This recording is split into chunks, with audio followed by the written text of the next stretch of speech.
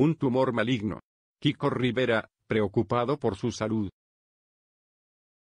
Kiko Rivera se encuentra dividido entre la felicidad absoluta y la preocupación.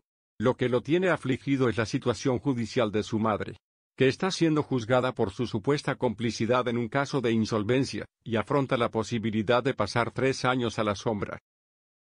Amén de ello, se dijo hace unas semanas que la tonadillera tenía decidido desheredar a Kiko Rivera y a su hermana, por los desaires que le han dispensado durante mucho tiempo.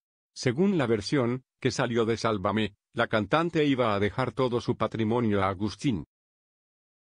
Sin embargo, en estos días, la suegra de Irene Rosales habría manifestado que eso de ningún modo es cierto, son mis hijos, lo más importante para mí, expresó.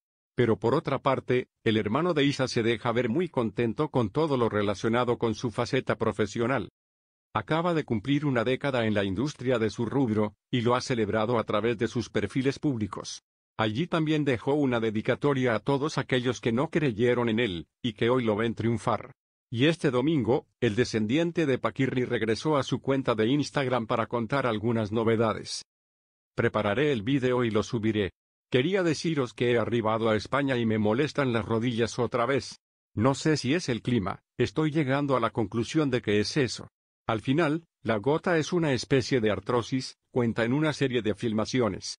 Recordemos que la afección lo ha tenido bastante preocupado. El DICHE ha llegado a utilizar muletas para asistirse y poder así andar, porque el padecimiento era abrumador. En todos estos días, os juro por Dios que no ha sido absolutamente nada. Llego a mi maravilloso país, y sobre todo a Asturias, que tiene una humedad impresionante, y esto vuelve a comenzar, concluye.